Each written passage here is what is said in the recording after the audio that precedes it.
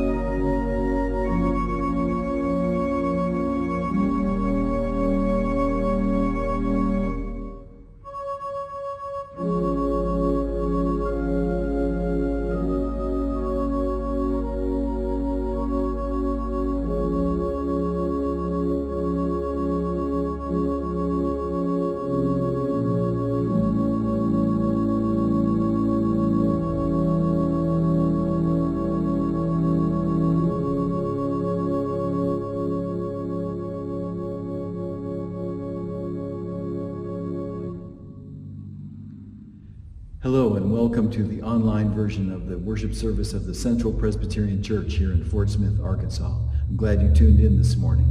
Uh, this is a warm and welcoming, affirming, inclusive congregation. And uh, when we meet again in person, we would love to have you join us. But in the meantime, this is how we'll worship today.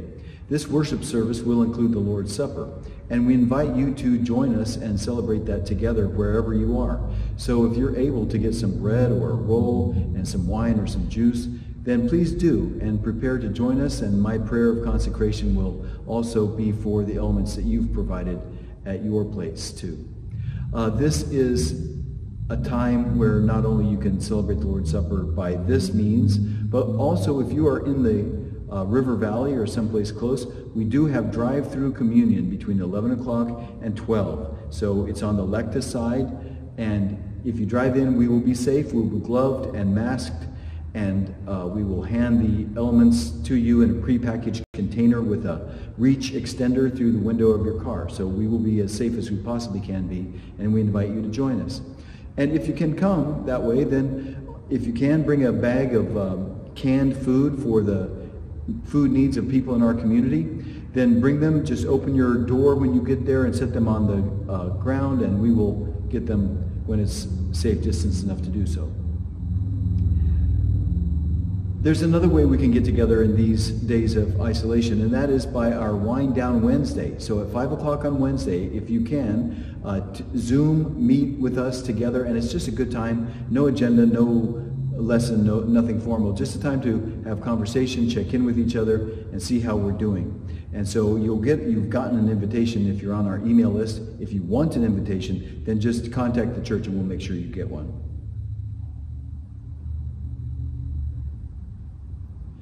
Well, in order to receive as much as we need to receive from this service, let's set our intention for this service, asking ourselves, why did I tune in?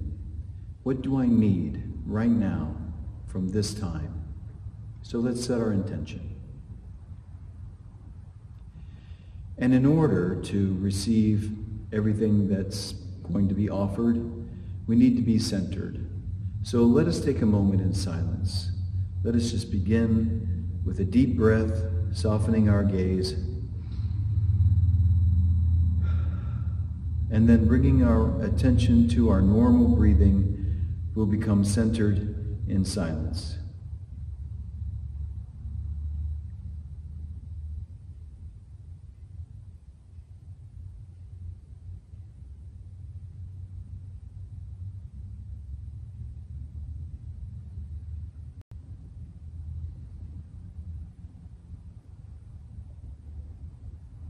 Amen.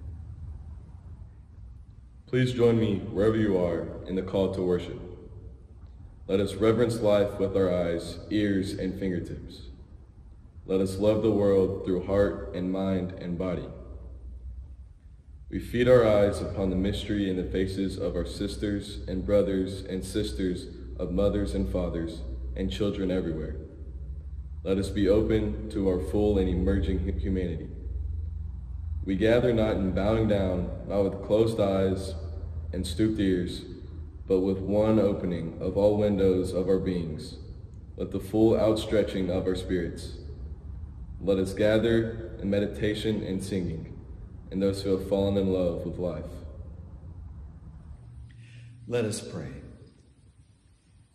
God of life, God of hope, God of all, lift us on your love like eagle's wings. Sustain us, guide us, heal us. Then send us forth into the world when it is safe, that we may love as you love. Amen.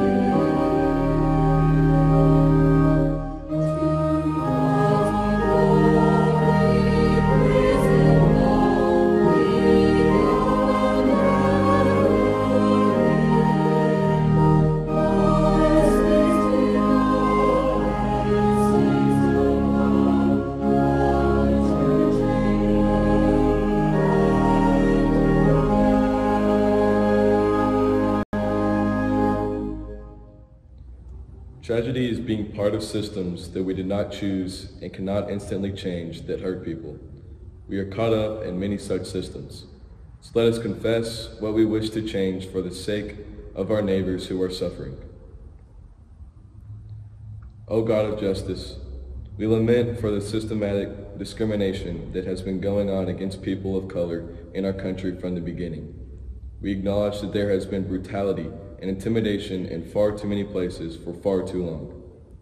There has been unequal application of the law, unequal sentencing, and abuses throughout our criminal justice system. On behalf of our country, we confess, we cry out for change, and we offer ourselves in your service. Lord, have mercy. Let us take a moment in silent prayer so that we can confess our sins to God.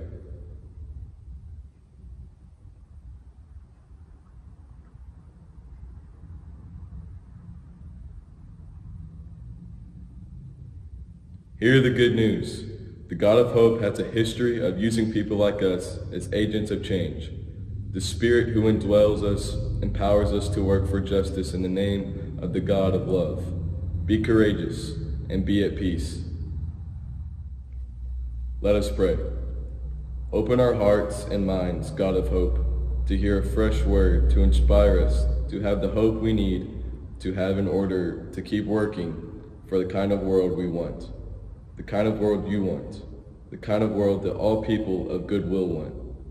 Amen.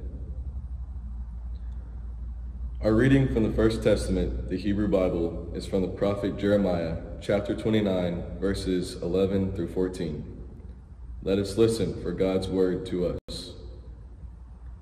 Surely I know the plans I have for you, says the Lord, plans for your welfare and not for harm, to give you a future with hope. Then will you call upon me and come and pray to me. I will hear you. When you search for me, you will find me.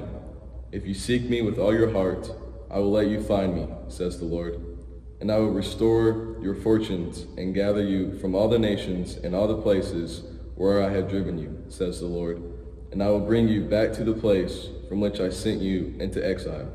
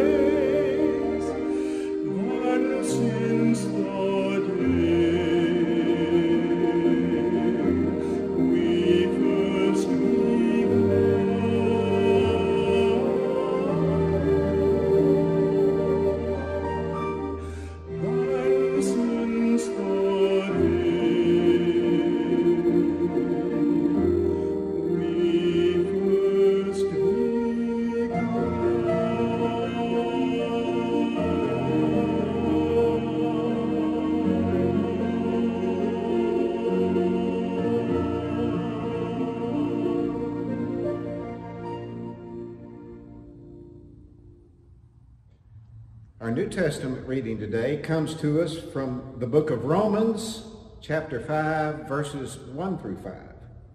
Let us listen for the word of God. Therefore, since we have been justified through faith, we have peace with God through our Lord Jesus Christ, through whom we have gained access by faith into the grace in which we now stand. And we rejoice in the hope of the glory of God. Not only so, not only so, but we also rejoice in our sufferings, because we know that suffering produces perseverance, perseverance, character, and character, hope. And hope does not disappoint us because God has promised, has poured out his love into our hearts by the Holy Spirit whom he has given us. May God bless the reading of this, his holy word. Our scripture today could go in many different directions, but I think the overall thrust of this particular uh, Romans chapter leans heavily on hope. Paul was speaking to the Christians in the Roman Empire. Christians lived in the heart of Roman dominance and darkness. And hope was probably in great short supply during this time because Christians, the Romans were hostile toward Christians. And Christians were often thrown on the floor of the Colosseum amongst hungry lions to be devoured for the masses. Even Caesar was considered a god. They had on their coins Deus et Dominus, which means God and Lord, and a picture of Caesar. Paul himself was said to have had his head severed from his body during this time. And Peter was crucified. Uh, so you can see how hope, if you were a Christian, is in short supply. Now let us fast forward to 2020. You might can draw the same conclusions today of hope being in short supply with COVID-19 running, running rapid throughout the world. And in the United States, 40 million people have lost their jobs. And money is a problem because people can't pay their mortgages or buy food. And all this while a policeman in Minneapolis killed a black man, and this has caused racial unrest throughout the land. And all of this while one of the greatest threats to our very existence is global warming. And it is going unnoticed at this time because of everything else that is happening in the world. So you can see how hope, even today, may be in short supply. There was this movie made back in 1994 called Shawshank Redemption. It was a novel, it was based on a novel by Stephen King. It won seven Oscar awards and was acclaimed as one of the most religious movies of its time. And I didn't remember it that way, so I had to go back and watch it again. But indeed, it had a lot of religious connotation in it, friendship, kinship, but more importantly, it spoke of hope. Just to give you an overall summary of this movie in case you want to go back and watch it again, it starred Tim Rogers, Tim Robbins, portrayed by Andy Dufresne. Now, Andy Dufresne was in prison on two life sentences for a crime he did not commit, for the murder of his wife and her lover. And Red Redding, played by Morgan Freeman, who was a man in prison for a crime he didn't. He did commit. Now, Andy and Morgan became fast friends. Morgan Freeman, or Red Redding in the movie, was the guy who could get everything. He had connections to the outside world, so anything you needed, Red could get it for you. So Andy approached him one day and says, Can you get me a rock hammer? and a large poster of Rita Hayworth. And Morgan was kind of perplexed at why he wanted these things, but he went ahead and got them for him anyway. And soon, unbeknown to everybody else in the whole prison, even Red, Andy but took that little rock hammer and started scratching at the wall in his jail cell every night. And it took him 20 years to bore through that wall, but he eventually got through to the other side, which led him to a sewer pipe, which led under the outside walls into freedom. Andy also requested a five-foot rope, and Morgan thought that he was going to hang himself, that Andy had given up all hope. But only to find out the next day he had used that rope to tie around his leg and wrap it around a plastic bag which carried clothing so he could change into after he crawled through 500 yards of a sewer line. You see, Andy never gave up hope, and this gave Morgan hope that someday he may too be paroled. Now, I won't tell you how the story ended because you may want to go back and review it again for yourself. But it is a story about hope and kinship and friendship. Lewis Smedes, in his book Standing on the Promises, once said that our souls need hope the way our lungs need oxygen. If hope is what keeps us going, then worry is what makes us cautious. If hope helps us to strive forward, then worry makes us slouch even as we duck our heads in fear. But I especially like that passage that hope, our souls need hope the way our lungs need oxygen. A week ago, I was scanning with my clicker through the channels on TV, and I came across that show, America's Got Talent. You may be familiar with this show. It's where there's a celebrity group of judges and people all over the nation come before these judges showing their talent, hoping to make it to the very end and win the prize. But on this particular show, it was Archie Williams, an older black man, and Simon Cowell asked Archie, who are you and why are you here? As you could see, the tears welling up in Archie's eyes, he finally got control of himself and said, I've been in prison for 37 years for a crime of rape of a white woman that I did not commit. And everybody gasped. And Simon asked him, well, how in the world did you go 37 years without uh, any hope? And he said, uh, freedom is of the mind, and I never let my mind go to prison. Archie was eventually freed because of the Innocence Project, who worked for years to obtain his freedom. And then Archie went into the song by Elton John, Don't Let the Sun Go Down on Me. And everybody stood in applause after he sang that song because Archie never let the sun go down on his hope. A week ago, I saw Nora, Nora, Norah O'Donnell on CBS News interviewing a black historian. His name was Lonnie Bunch. And she asked him what he thought about everything that was going on in the world today, especially in lieu of the murder of George Floyd. And he said, as a black man, I'm lucky to be breathing. As a black man in America, I'm lucky to be alive.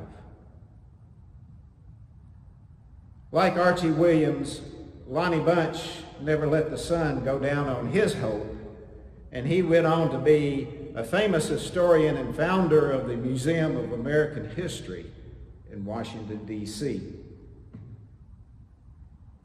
Now, we must not let hope be confused with fantasy or wishful thinking.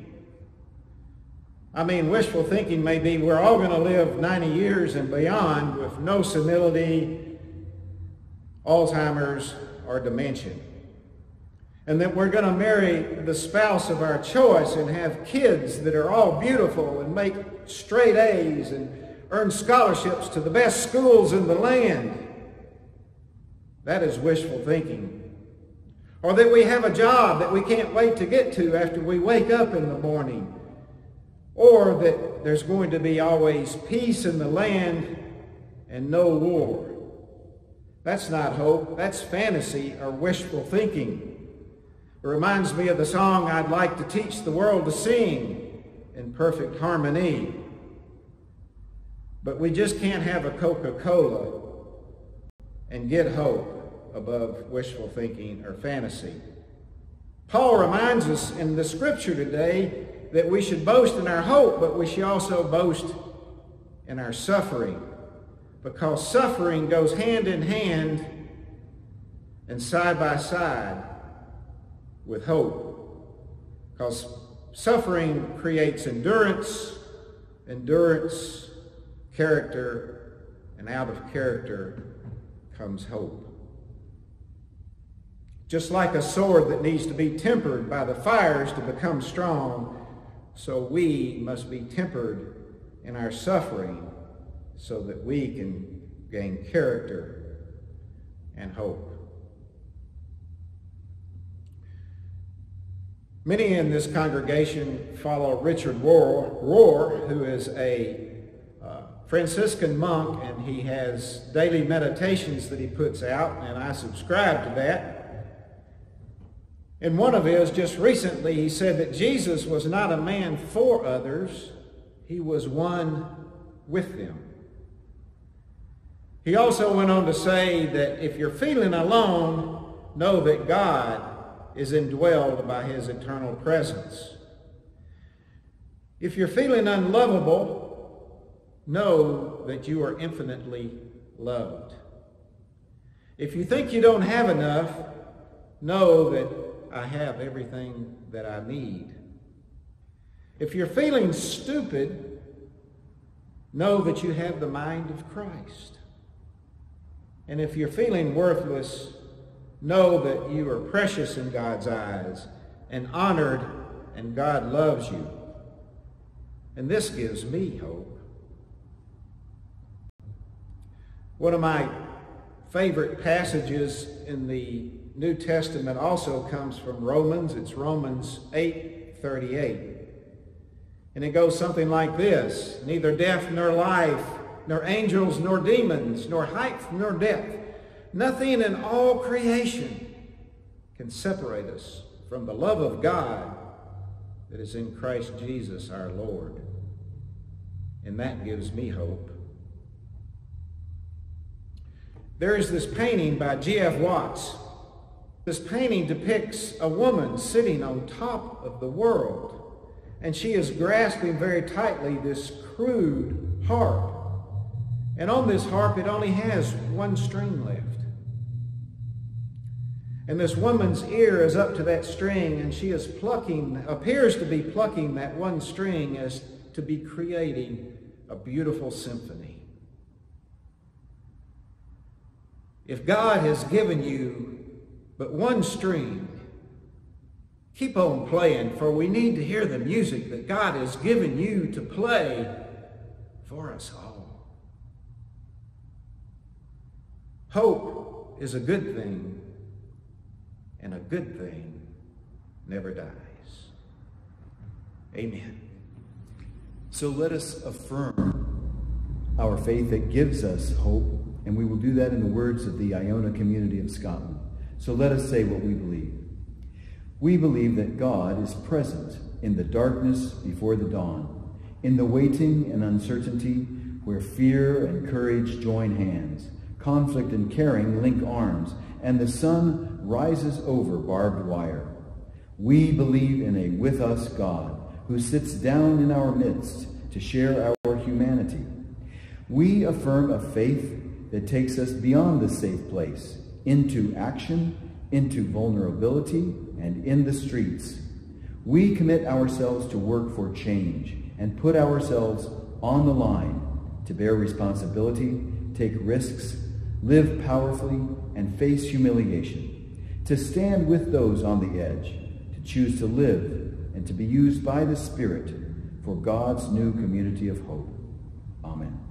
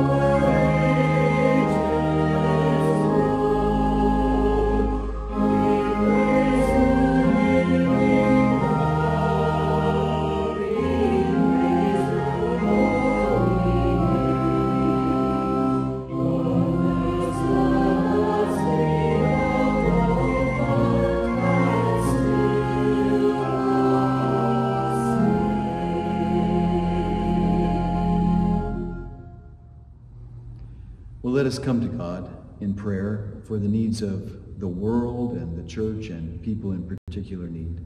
And so to be centered for this prayer time, let's again just take a deep breath and a short moment of silence.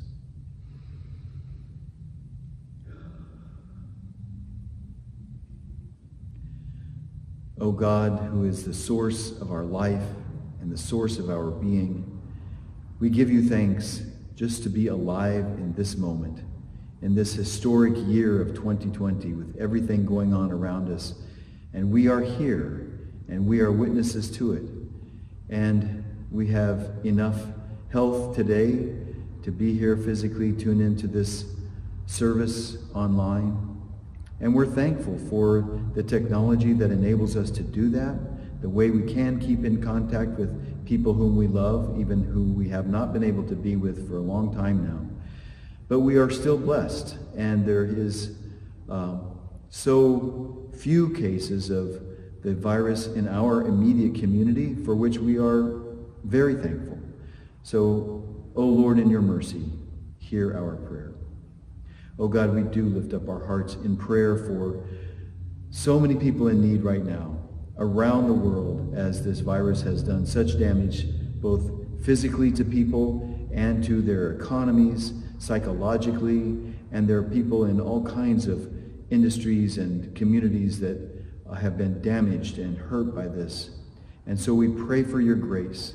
And we think about the leaders whose decisions affect us all. We pray for all of them as they uh, decide what to do about reopening and distancing and the advice that they give. So we lift up our president and everybody who advises him, for all the members of Congress, and for our governor, everybody in the state who, whose actions and decisions affect so many lives. Give them wisdom, we pray. O Lord, in your mercy, hear our prayer.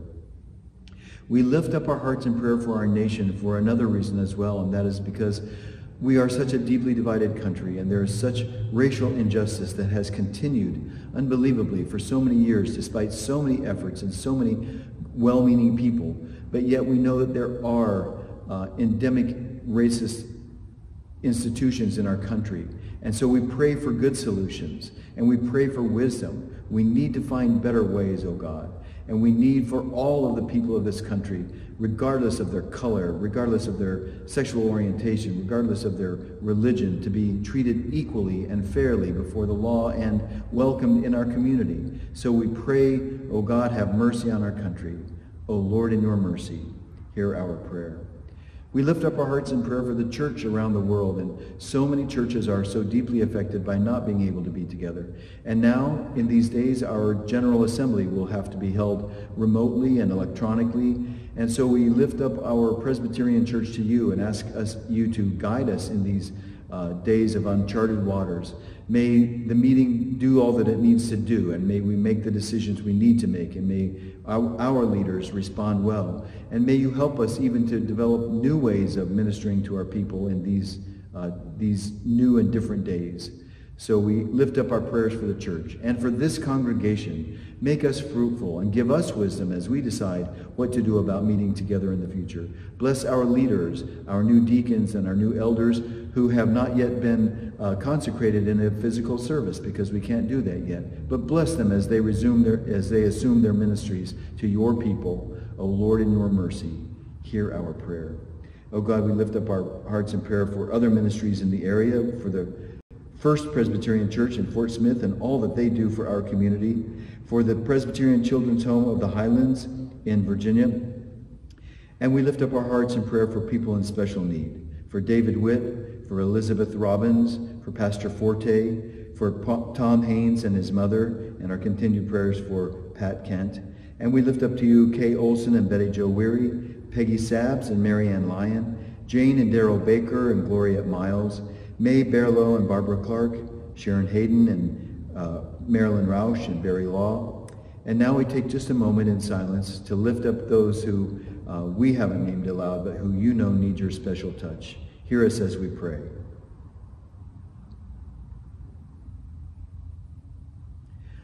O Lord, these and all of our prayers we offer in the name of Jesus, who taught us to pray together, saying, Our Father, who art in heaven, hallowed be thy name. Thy kingdom come, thy will be done, on earth as it is in heaven. Give us this day our daily bread, and forgive us our debts, as we forgive our debtors. And lead us not into temptation, but deliver us from evil. For thine is the kingdom, and the power, and the glory forever. Amen. Even though we cannot meet together physically, we know that we are a family, and it is important to keep supporting the family until we meet up again. So let us remember to be faithful with our stewardship. As we come to the Lord's Supper, I invite you to take the elements that you have prepared, the bread and the cup, and let us celebrate together. Jesus said, Come to me, all of you who are weary and carrying burdens. So this table is for all of us. So let us come with, with thanksgiving. May the God of faithfulness be with you. Let us open our hearts to God in this moment. We offer our hearts to the one who is always for us. People of God, lift your voices in songs of praise. We will make a joyful noise to the one who is our life. Before time began, your faithfulness was ever present, O God of grace and your never-ending love poured out beauty and goodness, transforming chaos into beauty and order. All of this, the earth, the rivers, the wonders, were for those you formed in your image. But when we could go anywhere, we chose the ways of ego and violence.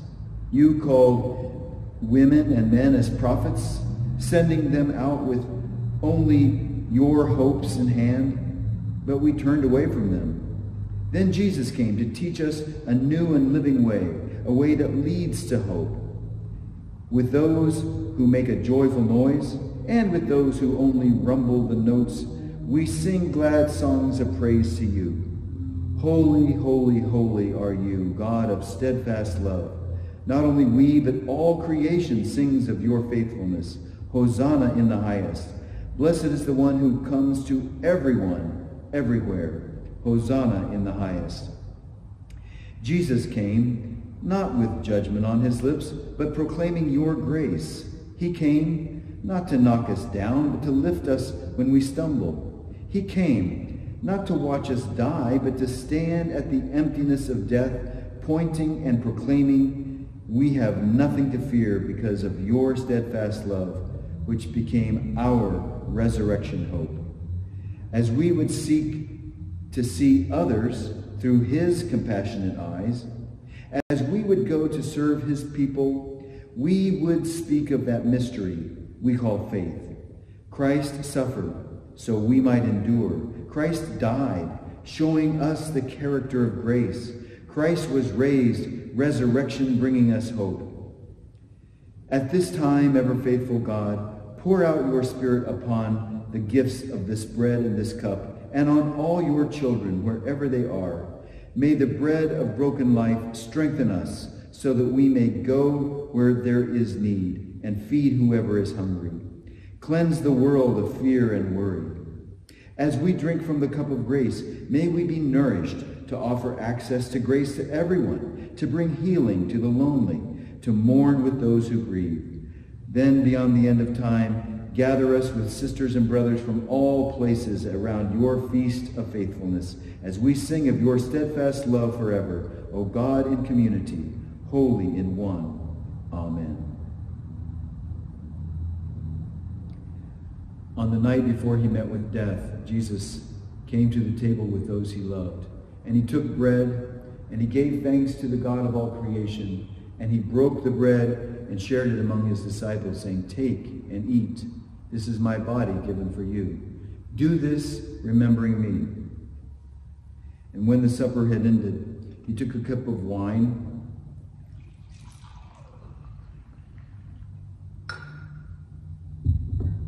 And he gave thanks to the God of all creation. And he shared the cup among his disciples, saying, Drink of this, all of you. This is the cup of the new covenant, sealed in my blood for the forgiveness of sins.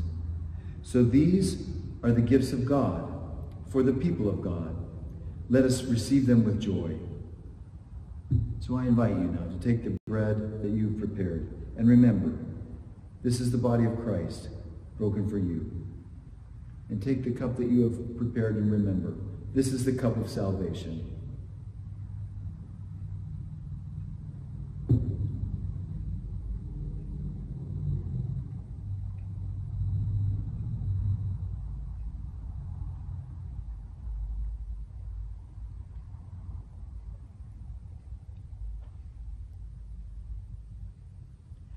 Would you pray with me? Created and called to be faithful stewards, we are sent forth by our God.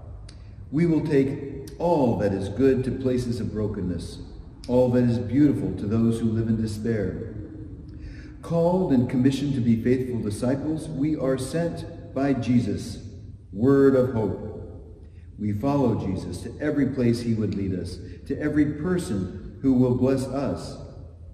Called and filled with the very breath of peace, we are sent by the Spirit, God's grace. We will join in the Spirit in bringing life where there is fear, offering love where hate seeks to take hold. Amen.